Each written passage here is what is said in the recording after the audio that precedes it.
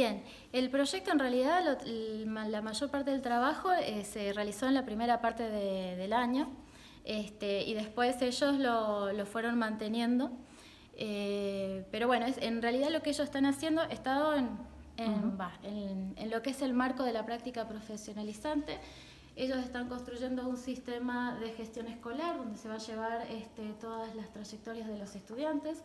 Esto en realidad fue solicitud de, por parte de la dirección de la escuela, justamente porque este, todo lo, que tiene que ver con las trayectorias de los estudiantes está en libros, como libro matriz, hay varios libros y demás, que bueno, eh, por ahí se hacía complicado a la hora de eh, resolver o acompañar esas trayectorias.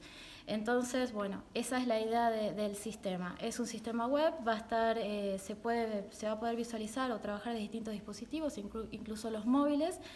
Es un proyecto de software libre, o sea, sigue la ideología de la escuela y es a código abierto y por lo cual este después, o sea, esto es, recién estamos arrancando, la idea es que bueno, se va a implementar en la escuela y también se va a brindar a la comunidad en algún momento. Bien, bueno, contame tu nombre y además me decías esto también le dejamos tarea a los que vienen, ¿no? En el camino, ¿por qué?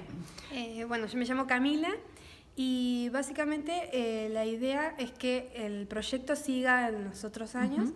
Eh, de hecho, se arrancó el año pasado con los chicos que estaban en séptimo, en el 2018. Y bueno, eh, lo retomamos nosotros y se tiene, se cree que se va a dar la primera versión en, en dos años.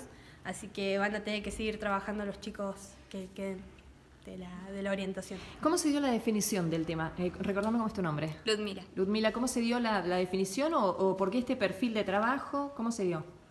Eh, bueno, el año pasado empezaron el, curso de séptimo del año pasado, empezó con este proyecto.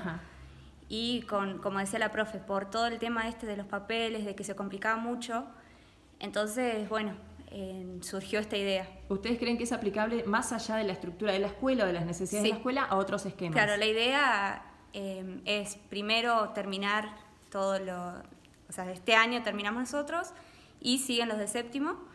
Entonces, bueno, cuando se llegue a una primera versión y cuando se termine, probarla acá en la escuela y después la idea del proyecto es sacarla de la escuela y a las demás instituciones. Vale,